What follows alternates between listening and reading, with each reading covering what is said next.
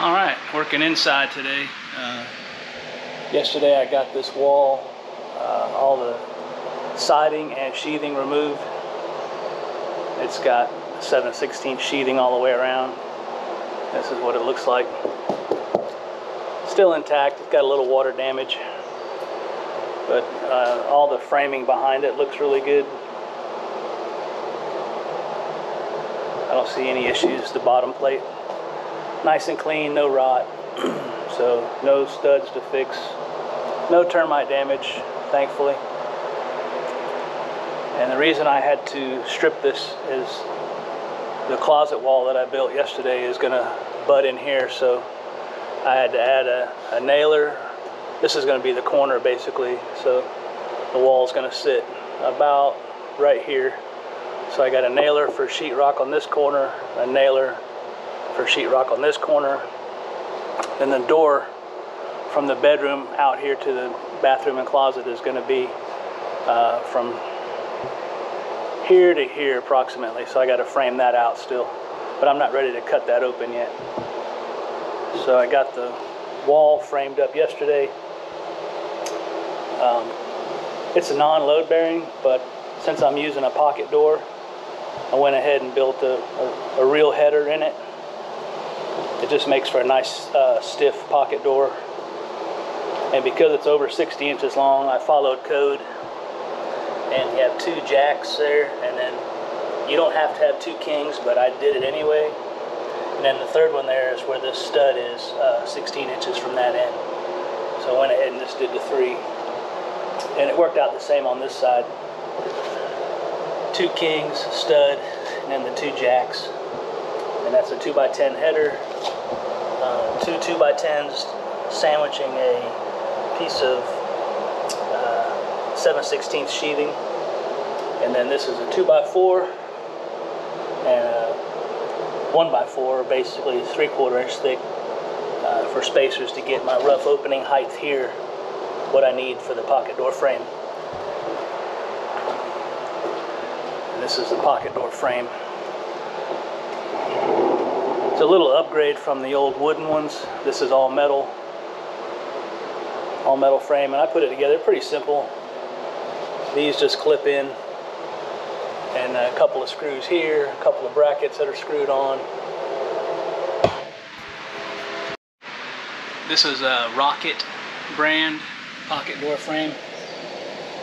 And it's got a couple of brackets here. These are just for installation purposes. Once you get it screwed into the frame. You pull these out. Of course, the door goes in here. And it's got all the hardware, the rollers. Comes with everything but the door, so I'll have to buy a door, and we're going to do a mirrored, a mirrored pocket door. So, and the door is going to be centered, even though the opening, the rough opening is not centered. The actual door itself will be centered. So, once I get this up, you'll see exactly what I'm talking about.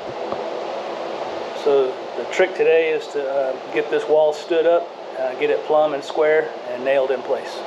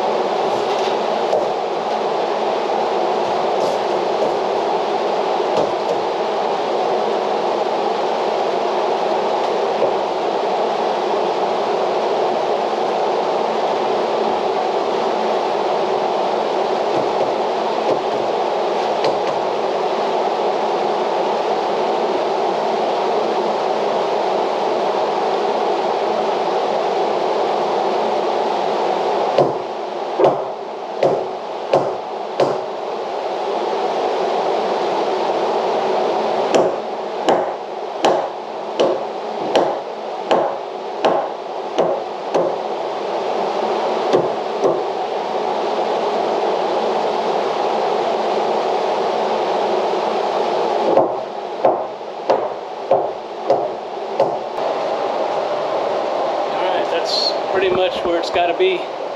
Now all I got to do is uh, level it, square it, and plumb it. So all those things, level and plumb, pretty much the same in this situation.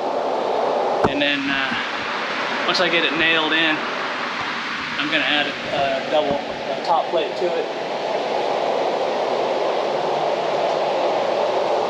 to go between the.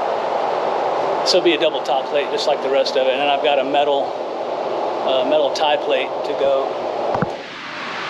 from the main wall. Uh, it'll tie it in up here. And then I'm not sure, I might get another one. Probably be an angle bracket on this side. Uh, so it'll go up and tie into the original house truss. So it'll tie in right there. All right, so let me get going on this thing.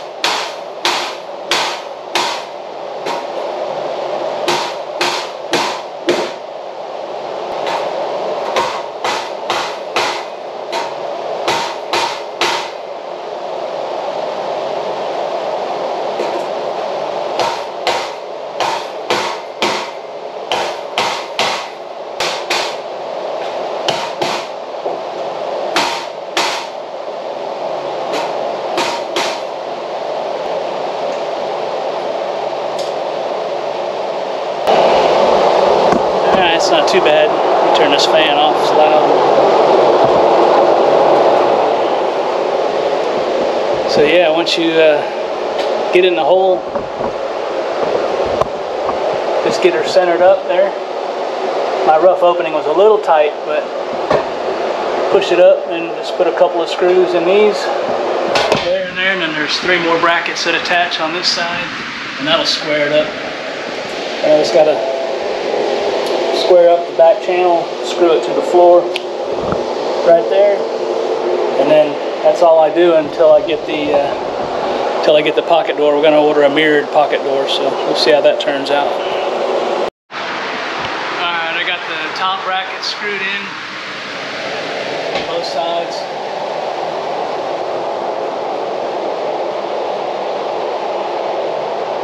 The kit doesn't come with these screws, so I just use some inch and 5 eighths uh, countersunk uh, deck screws. Got all those in. And this bottom rail is perfectly level. So now I'm trying to get the back, back of the frame plumb up and down. Then I can screw in here. Same screws. They didn't come with any of those. And that'll be it for the frame.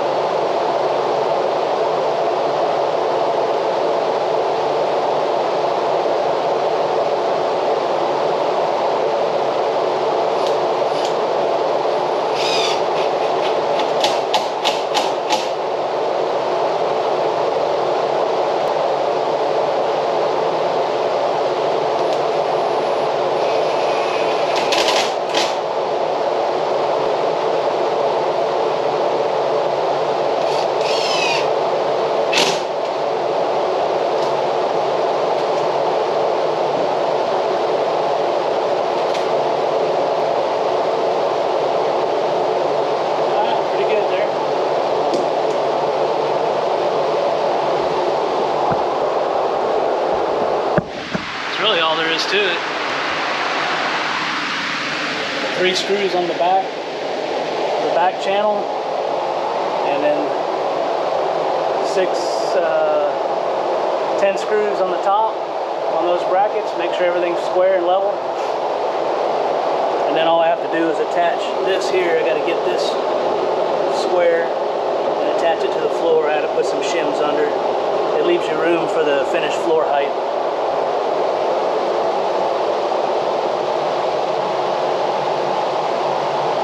That's all there is to a rocket pocket door frame.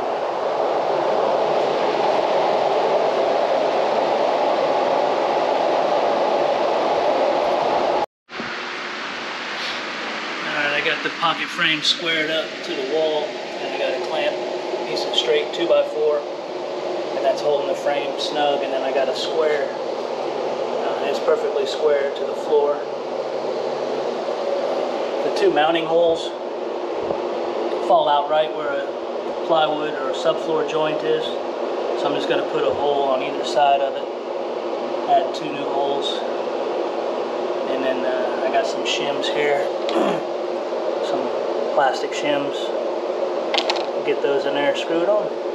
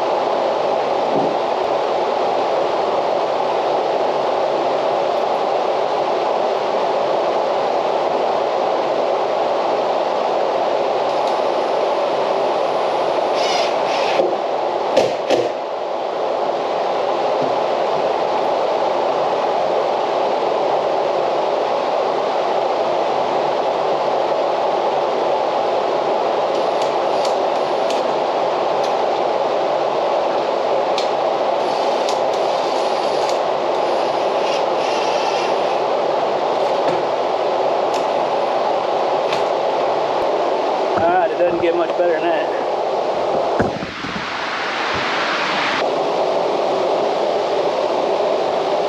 I'll take it. I'm going to call that frame installation complete.